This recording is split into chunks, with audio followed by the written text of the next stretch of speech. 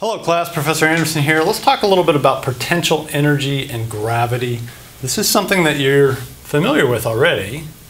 When we talked about the Earth and we said we're going to lift a box from here to here, a distance h, we say, oh, that box has potential energy in it. And you told me a while back what that was. It's just MGH. All right, what's the potential energy in the box? It's MGH. But how did we get to that? The way we got to that was you have to do work when you lift the box. How much work do you have to do? Well, you have to integrate the force over the distance. How much do you lift it with? Well, you lift it with mg. How far do you go? Eh, you go from 0 to h. But mg is just a constant. So that comes out in front. We have the integral 0 to h of dy, but that just becomes y evaluated from 0 to h, and so we just get mgh. But there was a crucial step that we took there. The crucial step was right here. Right? We went from this integral to this step because mg was constant. And if mg is constant, it comes out of the integral. You can put it in front of the integral. But what if mg is not constant? If mg is not constant, you can't do that step. You cannot take it out of the integral. And what we know is when you go very, very high up in altitude, all of a sudden that gravitational force is no longer constant. And so we have to be a little bit more careful about that. Okay? So let's take a look at that.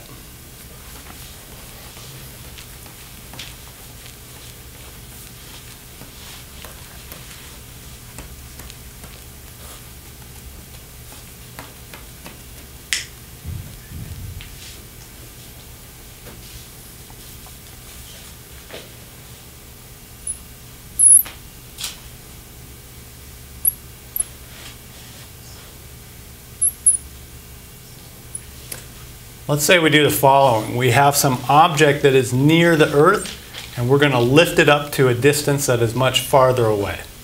And let's say that these two things are initial position, final position, relative to the center of the Earth. How do I calculate how much work it took to do that? Well, we know that.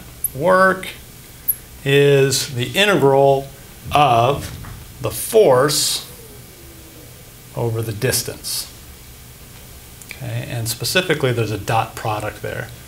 But we know that we're going to have to apply a force in that direction.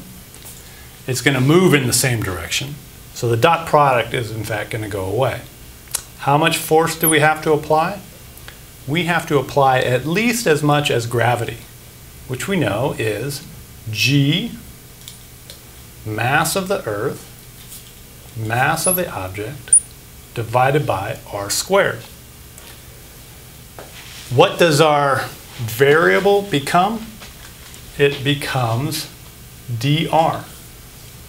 Okay, how far are you from the center of the earth is r, so we're integrating along dr.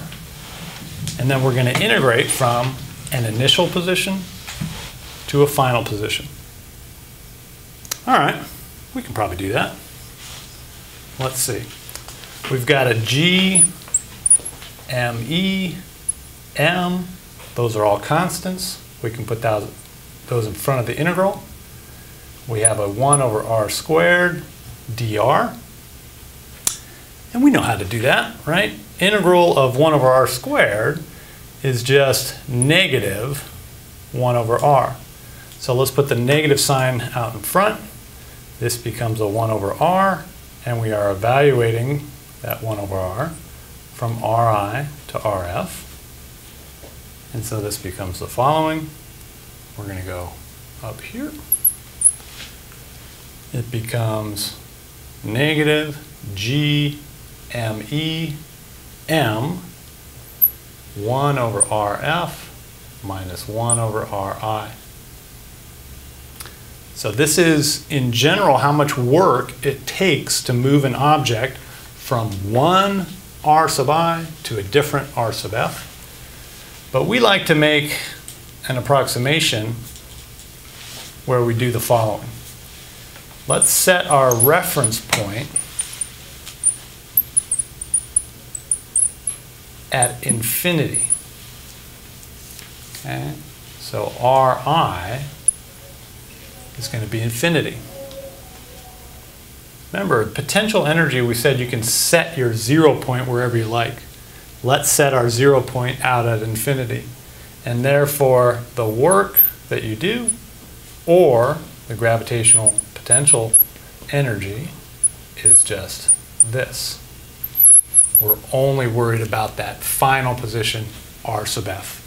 And if we write it in general, this is the gravitational potential energy of our system. Okay? It's negative because we set zero at infinity. And so anything closer to the Earth or closer to some other massive object will have negative energy. Okay?